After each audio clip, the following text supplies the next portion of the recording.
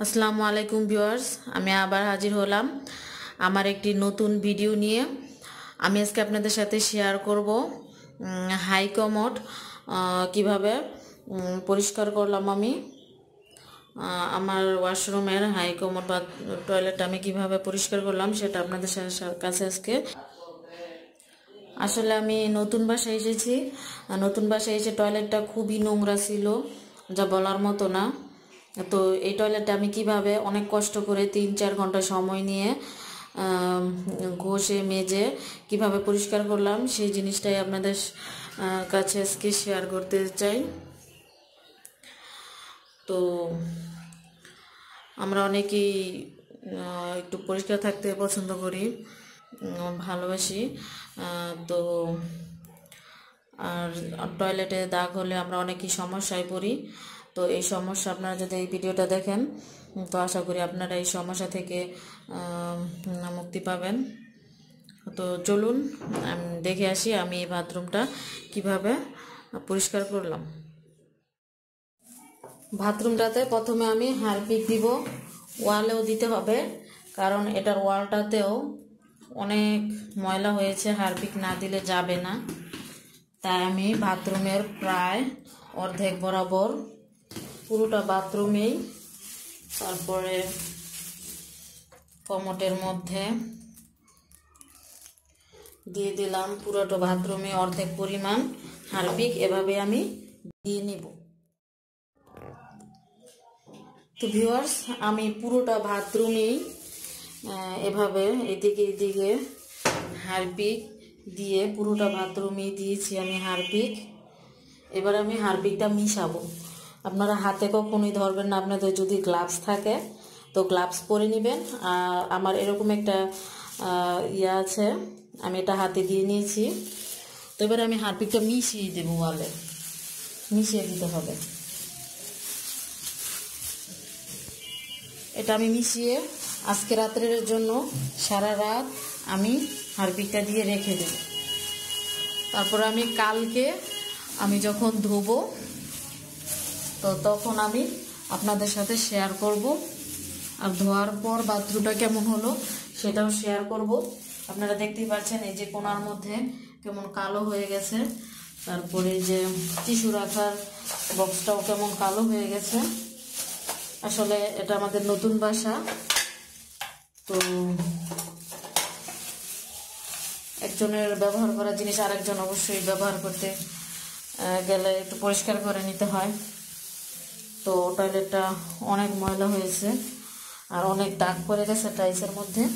এর জন্য আমাকে সারা রাত হারপিকটা দিয়ে রেখে দিতে হবে। তো আমি সবখানেই হারপিকগুলো এভাবে মিশাবো। আর এই যে নিচের টাচটাতে আমি এভাবে পা দিয়ে মাখিয়ে নিব।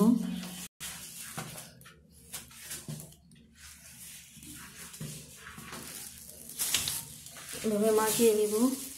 আর কমটের উপরে যে দিয়েছি, এগুলোও আমি মাখিয়ে নিব।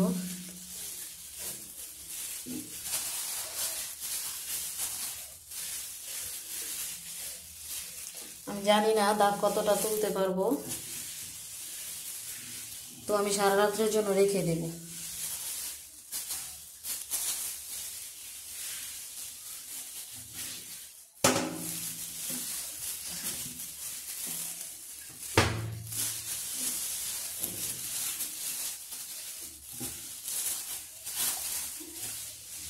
আসলে অন্য মানুষরা পারে এরকমভাবে দাগ থাকলে ব্যবহার করতে। তো আমি আমার নিজের মতো করি নেই আমি। ভাড়া বাসা বলেও আমি কিছু মনে করি না। আমি নিজের মতো করে নেই।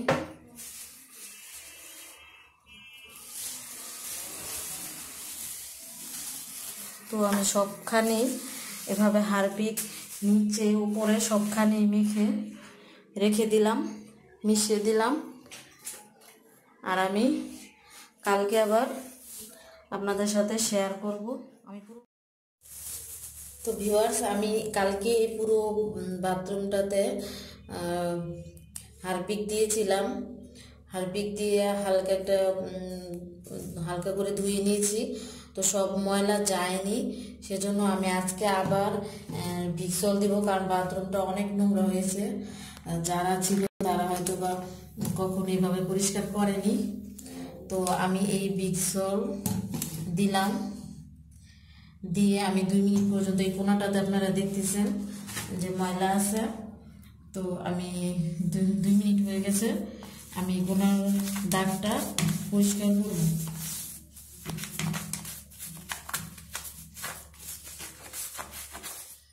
দেখতে পাচ্ছেন যে বিক্সল দেওয়ার পরে কালো দাগটা উঠে গেছে।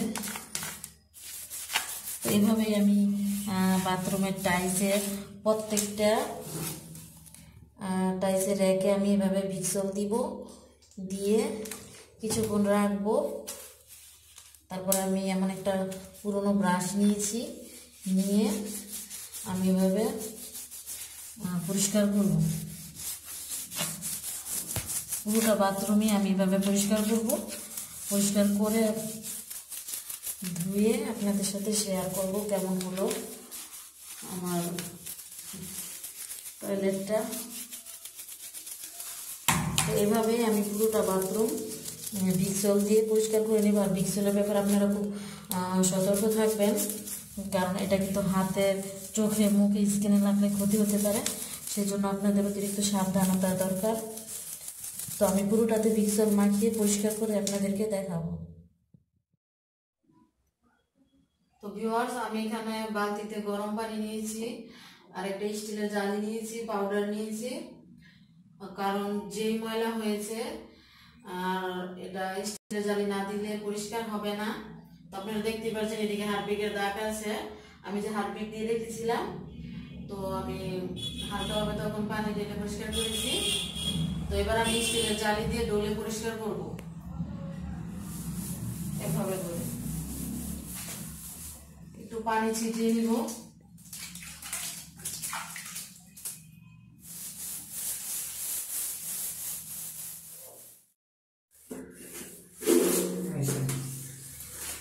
তো নিচের দিকটা আমি স্টিলের জালি দিয়ে ডলেছি আর উপরের দিকটা আমি উপরের টাইসটা আমি নরম সোফা দিয়ে ডলে নেব।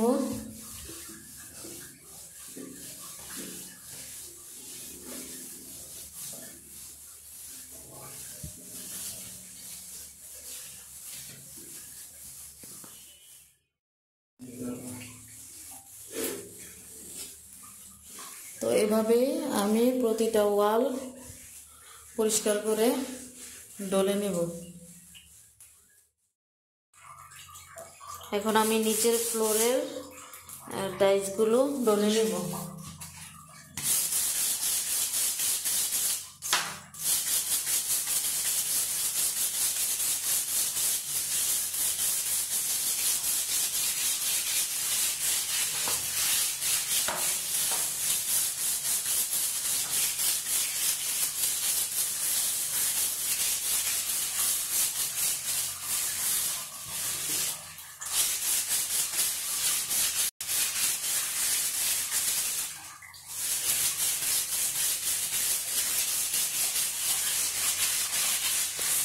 এইভাবে আমি পুরোটা বাথরুমে এই টাইসের যে র্যাকের দাগগুলো আছে, এগুলো আমি ডলে নেব।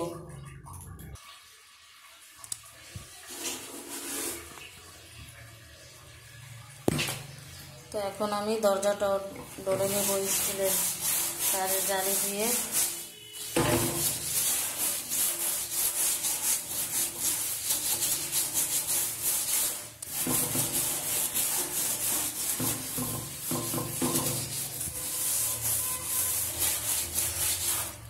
মেন কথা হলো যেদিক দিয়ে বেশি ময়লা আছে সেদিক দিয়ে আপনাদেরকে এই তারের জালিতে মাছ দিই হবে। না হলে আপনাদের যদি টয়লেটে দাগ থাকে, বাথরুমের ওয়াশরুমে দাগ থাকে, যাবে না।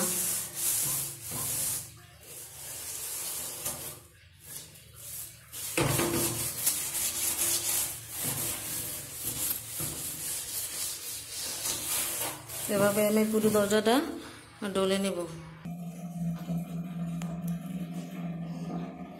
তো ভিওয়ার্স আমার সব মোটামুটি ধোয়া হয়ে গেছে, কিন্তু মেন জিনিসটা রয়েছে কমট। জানি না কতটুকু পরিষ্কার করতে পারব। তো চেষ্টা করে দেখি। আমি এখানে নিয়ে নিয়েছি পাউডার আগে তো হারপিক দিয়েছিলাম। পরিষ্কার হয়নি। তো দেখি। কতটুকু উঠাতে পারি দাগ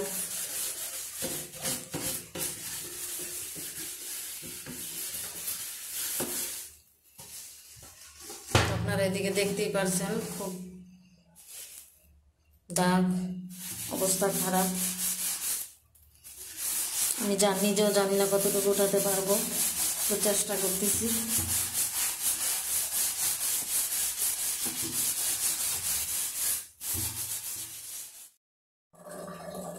তো ভিউয়ার্স, এতটুকু পেরেছি।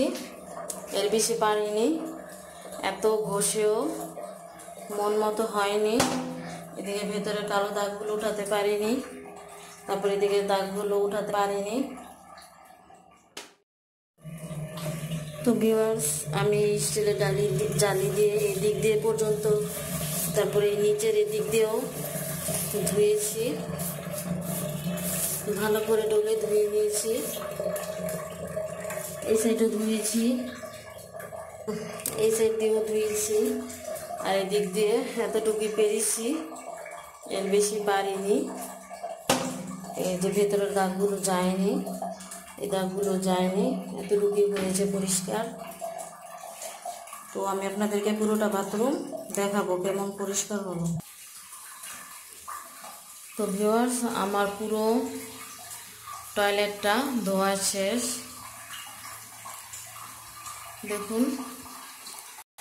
এটা তো তাও হাই কমোটের বাথরুমটা।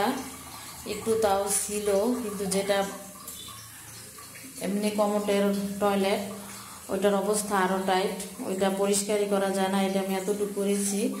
আর এটা পরিষ্কার করতে আমার লেগেছে একটা বিক্সল পুরো বোতল। তারপরে বড় হারপিকের অর্ধেকটা পুরো লেগেছে। আর হুইল পাউডার, এই তিনটা জিনিস মিশ্রণে আমি এই টয়লেটটা এতটুকু পরিষ্কার করতে পেরেছি। এর আগের অবস্থাটা আপনারা হয়তো দেখেছেন, আর এখনকার অবস্থাটাও দেখতে পাচ্ছেন। কতটা পরিষ্কার হয়েছে। এভাবে আমি দরজাটাও ওইভাবে মেজে নিয়েছি সব কিছুই আমি মেজে ঘষে পরিষ্কার করেছি। আস্তে আস্তে পুরো আরও পরিষ্কার হবে। একদিনই যখন এতটা পেয়েছি, কিন্তু আমার অনেক কষ্ট হয়েছে। প্রায় তিন চার ঘণ্টা লেগেছে এটা পরিষ্কার করতে। তো আপনারাও যদি টয়লেট নিয়ে এই ধরনের সমস্যা থাকে, আপনারা এইভাবে ধুয়ে একবারে ক্লিন ঝকঝকা করে ফেলতে পারেন টয়লেট তো ভিউয়ার্স আমার এই ভিডিওটি যদি আপনাদের কাছে ভালো লেগে থাকে, আমার এই ভিডিওটি বেশি বেশি করে শেয়ার করবেন। একটি লাইক দিয়ে দিবেন কমেন্ট করবেন শেয়ার করবেন। তো ভিউয়ার্স দেখা হবে পরবর্তীতে। নতুন কোনো ভিডিও নিয়ে সে পর্যন্ত। সবাই ভালো থাকবেন, সুস্থ থাকবেন। আল্লাহ হাফিজ।